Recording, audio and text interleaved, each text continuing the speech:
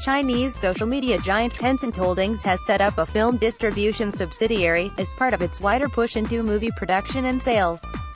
The announcement, made Monday at Tencent's UP2018 conference, comes after Tencent Films and China Everbright struck a deal with entertainment and media firm Tang Media Partners earlier this month to acquire 10 to 20 Hollywood movies every year to distribute in China.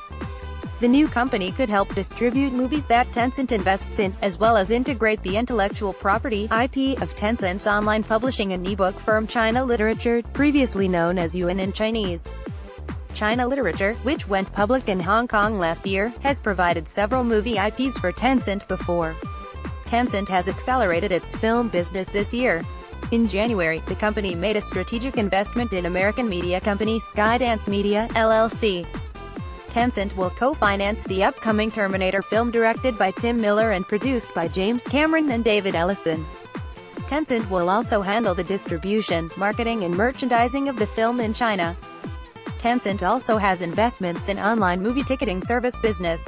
Last September, Tencent-backed Beijing Weiying Technology Co., Limited, merged with Maoyan, creating a market giant which controls a combined 43% share of China's online ticketing market. Cheng Wu, CEO of Tencent Pictures, told Chinese local media that his firm will not participate in online movie ticketing business directly, but will cooperate with Maoyan and Weiying. Tencent's Real Alibaba Group holding has also increased its movie investment. In February, a subsidiary of Alibaba bought 90 million shares, or 7.66% stake of Dalian Wanda's film business.